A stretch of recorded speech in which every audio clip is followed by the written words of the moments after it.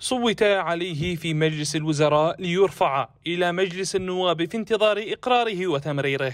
قانون خدمة العلم أو التجنيد الإلزامي قرار وجده أولياء الأمور بأنه من الضروريات الملحة في هذه المرحلة والذي كان من المفترض إقراره في السنوات السابقة. المفروض العراق يتخذ هذه الخطوة قبل سنين لأنه القوات المسلحة العراقية والجيش العراقي لازم تصير بمختلف الشرائح وخصوصا من الشباب لأنه العسكرية والخدمة الإلزامية تقوي من عود الشباب. جيد جدا لأن أنا ما أخاف على أطفالي.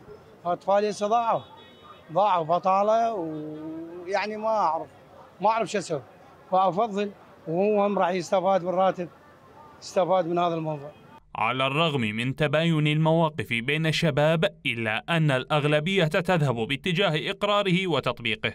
فالعديد منهم يرى أن ما يقدم من رواتب شهرية إزاء الخدمة هو خير من البطالة التي يعيشونها.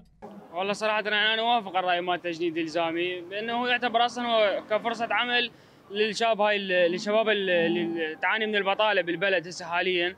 بهاي الفترة خصوصا والشباب اللي قاعدة بالبيوت والعاطلين عن العمل واللي يعني تاركين الدراسة هم فرصة عمل وهم توفر ك يعني خدمة للبلد كذلك بنفس الوقت همينه والله إحنا نتمنى مجلس النواب إنه يوافقون عليه لأن عندنا شباب هواي ما متعينين. شباب خريجين جاي تشتغل عماله وجاي تشتغل يعني شغل ب 3000 وب 5000 هذا الشيء يعني يساعد الشباب بمصدر رزقهم والعالم اللي عندها إمكانية راح تقدر تدفع البدل فهو فرصة عمل للشاب.